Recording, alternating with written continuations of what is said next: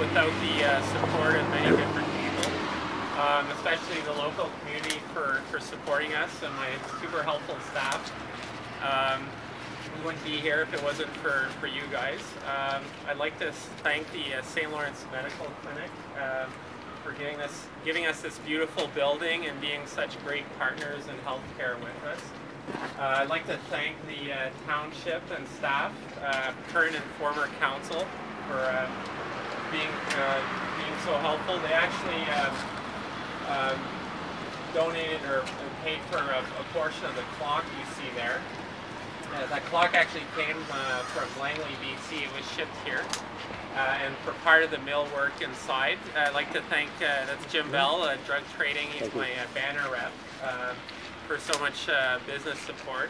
Uh, I'd like to thank all the uh, local community uh, businesses as well. Uh, they've donated uh, tons of prizes. We're going to be doing a bunch of draws throughout the day.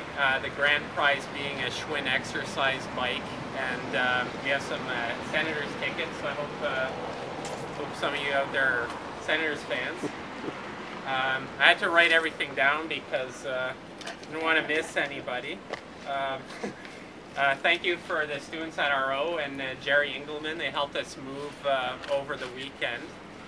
Um, thank you for Butler's Restaurant Tim Hortons. They provided some uh, snacks and some coffee inside after. We can go and uh, get that. Uh, thank you too for CIBS Construction who were invaluable with this you know, construction project.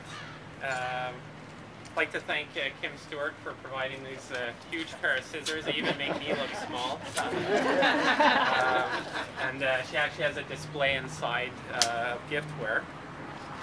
Um, I'd like to also thank the Lost Villages Society. Um, they provided images. You'll see inside, uh, there's images from the Lost Villages Museum we put up on the uh, walls there. Um, I think, I think I have everyone. Um, and I guess I'll get on with it.